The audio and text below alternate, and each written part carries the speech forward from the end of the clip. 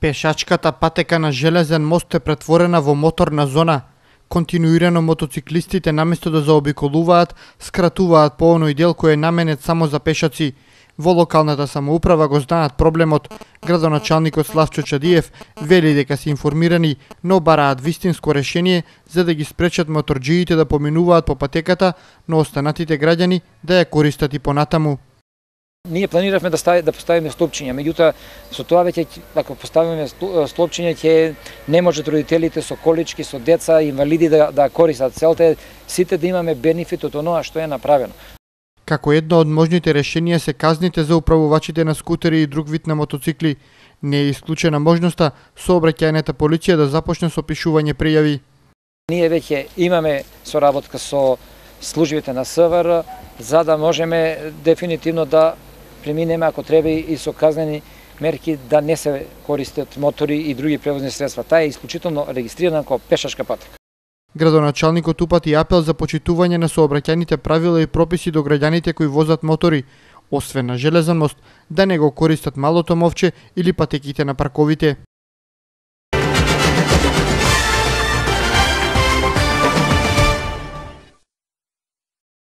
Општината прави ребаланс на буџетот, десетина програми за работа ќе претрпат измени, нови буџети ќе добијат програмите за локален економски развој, здравствена заштита, уредување на градежно земјиште, дел ќе добијат повеќе пари, кај други пак ќе се намали предвидената сума за реализација.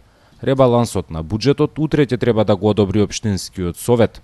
Согласно измените и дополнувањата на програмите за работа на Обштина Велес за 2014 година, донесени на седница на Советот на Обштина Велес, се јави потреба од измени и дополнување и на буџетот на Обштината за 2014 година. Ваквата измена на буџетот представува редовна пракса во која што се ревидираат и усогласуваат буџетските приходи и расходи. Со ребалансот, основниот општински буџет ќе се зголеми за околу 550.000 евра, Повеќе пари ќе добијат и самофинансирачките активности, дотациите од државниот буџет и ставката за донации. Инаку, според предложениот ребаланс, предвидени се повеќе пари за изградба на системи за одведување и пречистување отпадни води, уредување на простор во селски подрачја и уредување на градежно земјиште. Помалку пари имаат програмите за локалниот економски развој, култура, изградба на мрежи за јавно осветлување.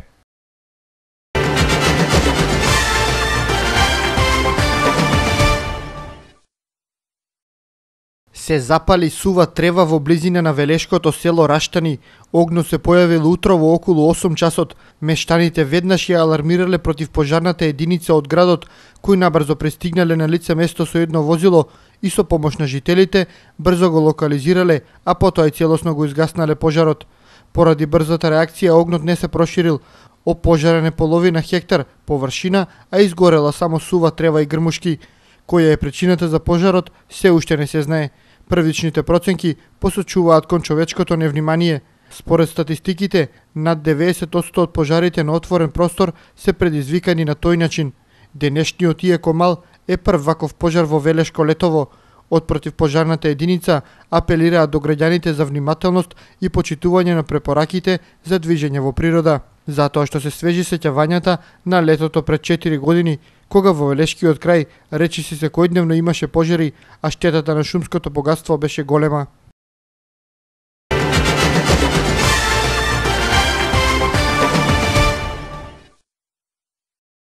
Расте бројот на случаи на детско престапништво во општина Велес, така покажуваат податоците на надлежните институции.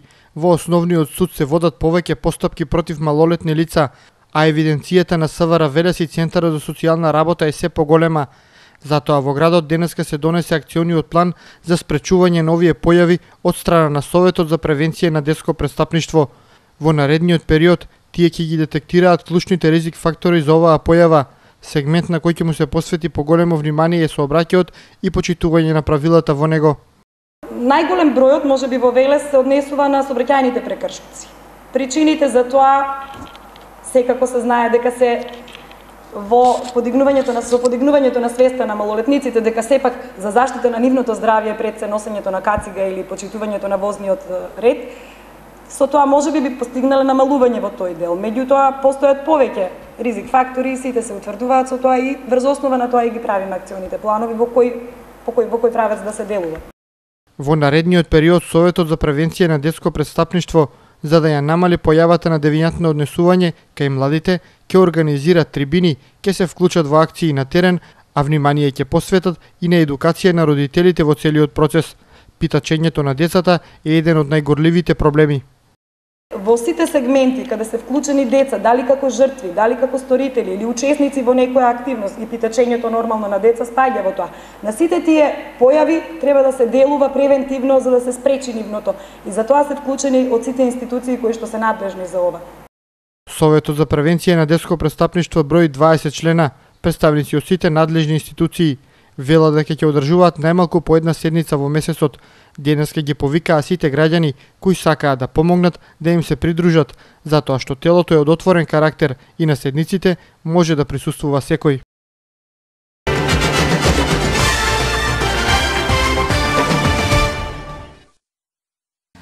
Сушните земјоделски региони во државата може да имаат богат принос на пченица и јачмен. Употребата на соодветни технологии ќе го подобри одгледувањето на житни култури, вели германскиот агроном Ханс Јоаке Мекарт.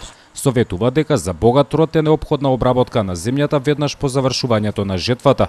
Мојата препорака овде е да се воведе техника која што е во правец на дискови тањирачи кои што ја обработуваат земјата по жетвата за да може таа да дава подобри приноси. Овој совет за обработка на земјата го доби и комбинатот Вардар од Градско. Странскиот експерт ангажиран од владата ги советува агрономите како да го зголемат приносот кај житните култури. Ги лоцираше некои работи кои што треба да ги подобриме у смисла на техничка опременост, у смисла на механизација, на приклучна механизација, така. И мислам дека сите препораки кои што ќе бидат дадени од негова страна ќе бидат прифатени, пошто сето тоа значи подобар принос, подобар квалитет. Повеќе домашни компании во моментов ги користат советите на странските експерти. Поради интересот, владата ќе ангажира дополнителен број консултанти. Во првиот повик за користење на совети од странските експерти, над 100 домашни фирми побараа да ангажираат консултант.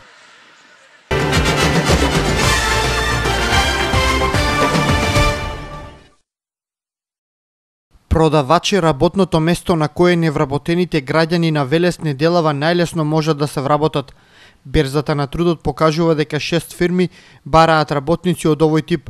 Слободни се дури 65 работни места. Поголем дел се на определено работно време.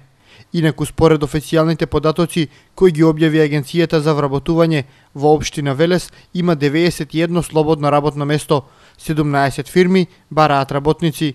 Освен продавачи, во Велес се бараат келнери, работници во кујна и во градежниот сектор – Фирмите најчесто нудат минимална почетна плата од 8800 денари.